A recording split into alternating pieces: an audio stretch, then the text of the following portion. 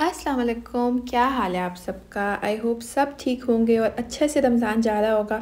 तो इधर मैंने अपने लिए सहरी की प्लेट बना ली थी। मेरा था कि पहले उस्मान मैं खा लेती हूँ, उसके बाद आपको गरम गरम में पराठा बना दूँगी। बर्गर जो पड़ा हुआ था, वो गरम कर लिया, साथ पास्ता था। तो मेरा था, मैं आज सिंपल सा बस यही खाती हूँ और कुछ मेरा पराठा खाने का आज मेरा दिल नहीं था। उस्मान का एक बड़ा, वैसे भी जब जाते हैं तो नाश्ता एक उनका स्पेसिफ़िक सा ही होता है ऑमलेट खाते हैं। तो इस वजह से मैं साथ उनको पराठा बना देती हूँ। उनका होता है कि बेशक मुझे चावल दे दें बट मेरा एक वो अपना माइंडसेट होता है कि नहीं, पराठे में ज़रा ताकत होती है तो नहीं, आपने अगर अंडा खाना है खाली तो खाली ऑमलेट ना लें, साथ पराठा ले लें। अच्छा ऐसे काम करते हुए ना, कभी लाइक किचन के काम कर रही हूँ या जैनब का कुछ कर रही हूँ तो मैं बैठ के फिर यही सोच रही होती हूँ कि अब आगे कितने साल में, कितने साल तक बल्कि लाइफ में एक यही चीज़ है कि अच्छा आप सुबह उठो ज़ैनब को चेंज किया, उसको नाश्ता कराया उस्मान का लाइक किया या अपना किया। उस्मान का के पहले ऑफ़िस चले गए, फिर ये डिसाइड किया खाना क्या बनाना है। वैक्यूम किया, सफ़ाई की। लाइक वही मोनोटनस भी काम और लाइक वही काम, बस वही करते जाना है। सबसे मुश्किल तो ये डिसाइड करना कि खाना क्या बनाना है। तो वो बंदा सोचता फिर अच्छा थोड़ा सा ना हो जाता है कि अच्छा बस अब यही हो गया है ज़िंदगी में।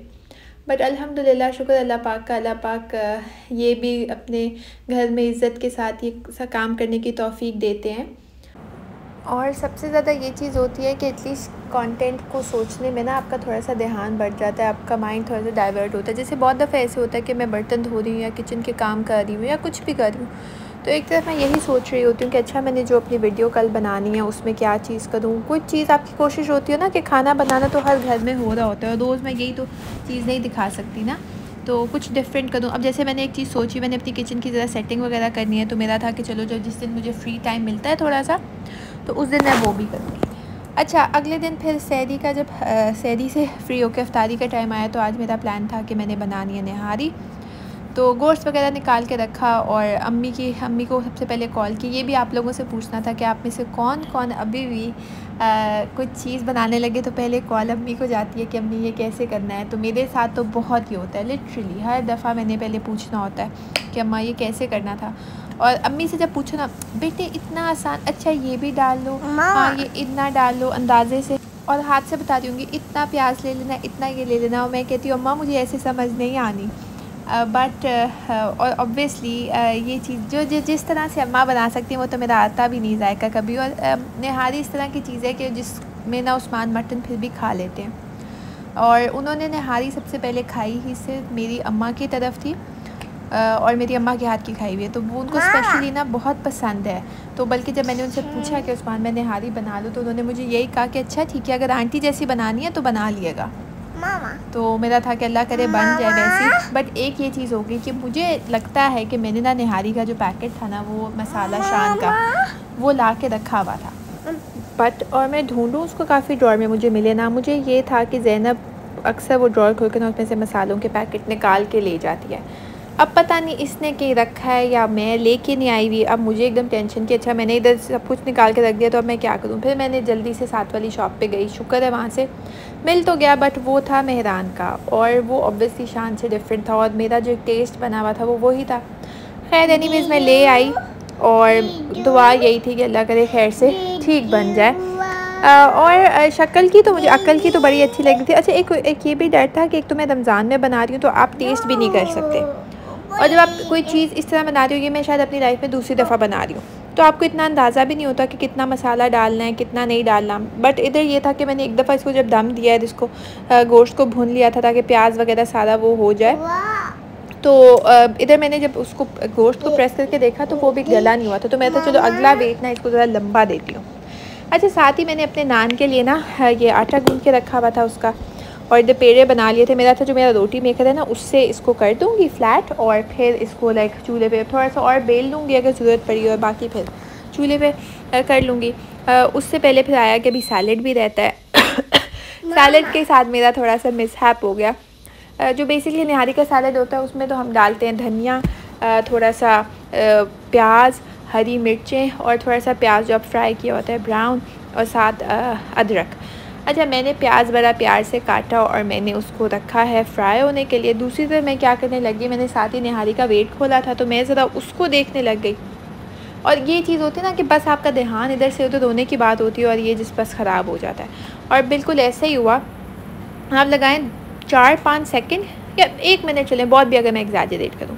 तो बस ये हुआ है और उधर जब मैंने वापस देखा है तो वो मेरा जो प्याज था ना, वो ऑलमोस्ट काफ़ी ज़्यादा ना, जो बर्नड वाली सीन था ना, वो हो गया था। मैंने खैर बस थोड़ा सा सैलेड की प्लेट में रख लिया, बाकी मैंने फेंक दिया। मैंने कहा अम्मा ने देख लिया ना।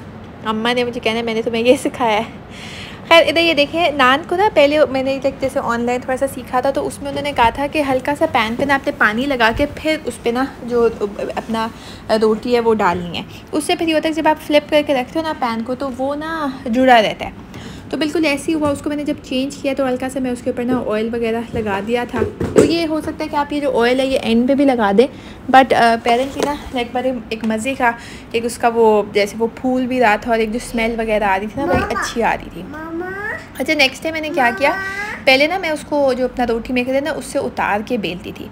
उसके बाद मैंने क्या किया कि ये नॉन स्टिक प्लेट है, इस पर एक तो जुड़ती भी नहीं है। वैसे तो नीचे मार्बल पे भी नहीं जुड़ती बट स्टिल लाइक पहले मैं उसको नीचे करूँ और फिर उसको दोबारा बेलूँ। तो वट आई डेट कि मैंने उसी के ऊपर उसको खोल के उधर ही बेल लिया और उसके बाद मैंने उसको कवर करके रख दिया। उससे ये होता था कि जो ऐसे मैदे की रोटी पड़ी पड़ी थोड़ी सी श्रिंक हो जाती है ना, वो चीज़ नहीं हुई इसको।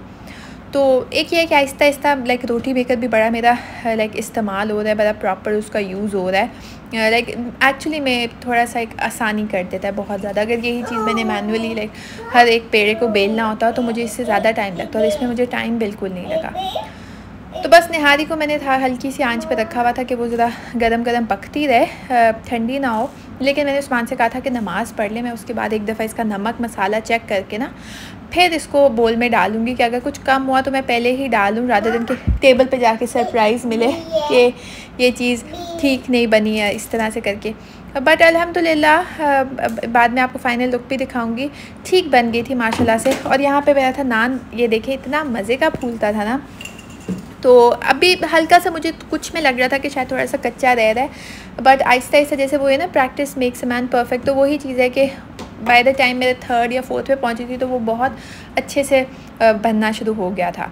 तो शक्ल के बड़े प्यारा सा मज़े का लग रहा होता है। तो वैसे तो बाहर से मिल जाए बट यहाँ पे पास नहीं था कोई तो मैं था, चलो घर में बना लेती हूँ। तो फाइनल ये था इधर ये सैलड प्याज आपको नज़र आ ही रहा होगा।